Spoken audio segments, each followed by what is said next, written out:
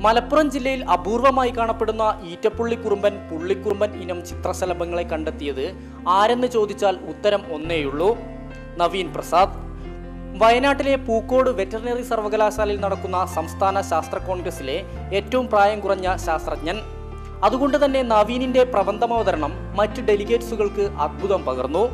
ചർച്ചകൾ കഴിഞ്ഞ് പുറത്തിറങ്ങിയതോടെ മറ്റ് ഡെലിഗേറ്റ്സുകൾ ആരാധനയോടെയാണ് നവീനിനെ അഭിനന്ദിച്ചത്. ചുങ്കത്തറ മാർത്തോമ ഹയർ സെക്കൻഡറി സ്കൂളിലെ ഏഴാം തരം വിദ്യാർത്ഥിയായ നവീൻ പ്രസാദ് സ്വദേശി ശാസ്ത്ര കോൺഗ്രസിലും പ്രബന്ധം അവതരിപ്പിച്ചിരുന്നു.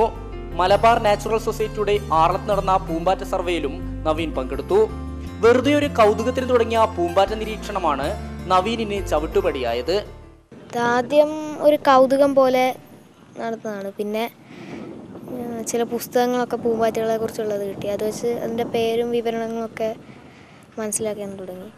നാളത്തെ ക്യാമ്പിൽ നിന്ന് ശരിക്കും എങ്ങനെയാണ് പഠിക്കേണ്ടതെന്ന് ഒന്നുകൂടി ഒരു ബേസായി കിട്ടി. കോളേജ് അധ്യാപകരായ പിതാവ് പ്രസാദും മാതാവും ഇനിയും നവീനിന്റെ ആഗ്രഹങ്ങൾക്ക് കരുത്തു പകർന്ന് കൂടെയുണ്ട്.